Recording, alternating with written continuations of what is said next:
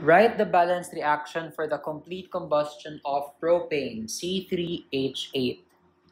Propane is an example of what we call a hydrocarbon.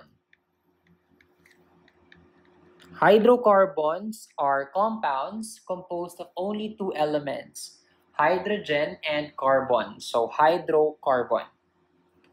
The problem says the hydrocarbon undergoes combustion.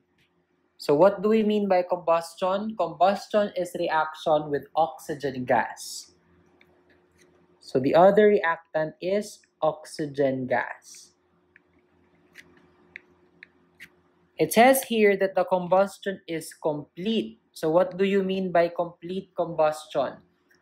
When hydrocarbons undergo complete combustion, there are only two products. Carbon dioxide and water. And this is applicable to any hydrocarbons. So our hydrocarbon is propane, C3H8. Oxygen gas is O2. Carbon dioxide is CO2. And water is H2O. In balancing combustion reactions of hydrocarbons, we only need to look for three elements, carbon, hydrogen, and oxygen. So the numbers must be balanced on both the left and the right sides. And I will give you a tip. Balance first carbon, then hydrogen, and lastly oxygen. So how many carbons on the left side? There are three. And on the right side, there's only one. So how do we balance carbon? We put the coefficient 3 on carbon dioxide because 3 times 1 that's equal to 3. So carbon is already balanced. Let's move on to hydrogen. There are eight hydrogens on the left side. And on the right side, there are two hydrogens. So how do we balance hydrogen? We put the coefficient 4 on water. Because 4 times 2, that's equal to 8.